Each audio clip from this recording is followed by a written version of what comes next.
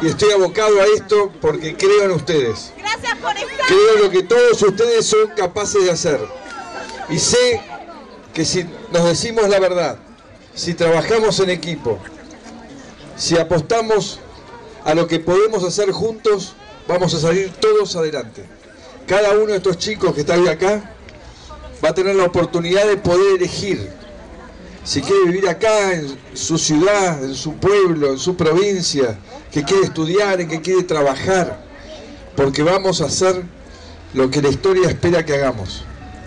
Una Argentina fuerte, una Argentina con oportunidades para todos.